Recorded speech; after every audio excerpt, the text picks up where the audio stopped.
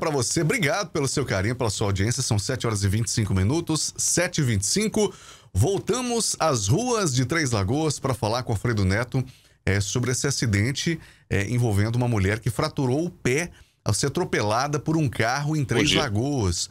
É, foi um carro e uma moto, é isso, Alfredo? Bom dia.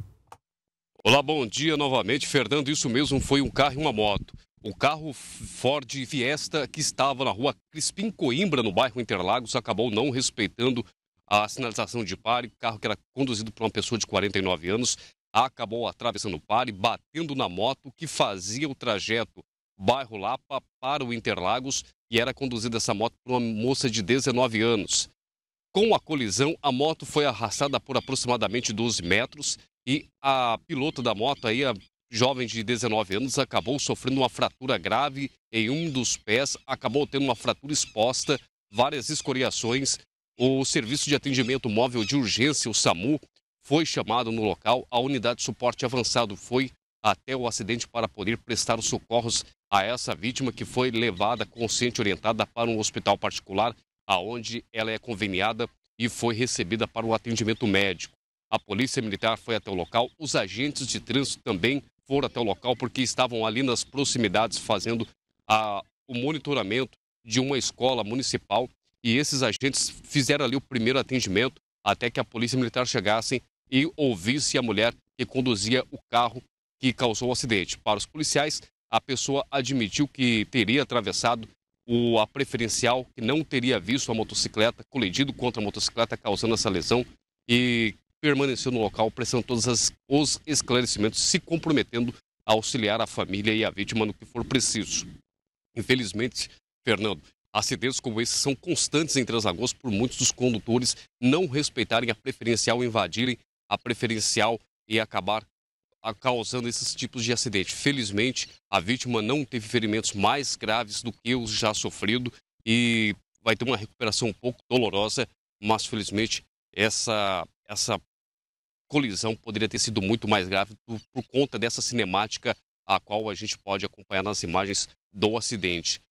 Logo, pouco mais à tarde, por volta de 15 horas, Fernando, a Polícia Militar e o SAMU foram chamados para comparecer na área central, na rua Monir Tomé, no cruzamento com a João Carrato, aonde uma motociclista acabou perdendo o controle, subindo na calçada e batendo contra o muro. Para a polícia, a condutora da moto contou que estaria pela rua João Carrato quando, no cruzamento com a rua Doutor Munir Tomé, acabou perdendo o controle, subindo na calçada e batendo contra o muro de uma residência. Ela sofreu algumas escoriações, o SAMU foi chamado e socorreu a vítima para o Hospital Auxiliadora para poder fazer exames complementares ali para ver se não tinha nenhuma fratura. E acidentes esses, Fernando, que não pararam durante a tarde e a noite.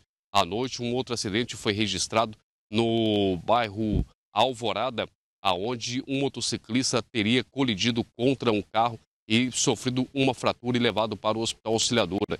Infelizmente, Três Lagoas tem um registro de três até sete acidentes diários, causando vítimas que são levadas para a UPA, Hospital Auxiliadora, aonde recebe os atendimentos médicos. Infelizmente, Fernando, é um número que vem alarmando as autoridades por conta da falta de atenção dos motoristas que acabam utilizando as vias, já que a maioria das vias aonde são registrados esses acidentes são vias bem sinalizadas, vias bem amplas aonde a visibilidade ela não tem ali comprometimento. Infelizmente, ali o avanço de preferencial ou simplesmente o excesso de velocidade acabam sendo os maiores fatores desses acidentes que são registrados entre as lagoas, que tem 128 mil habitantes, praticamente 130 mil.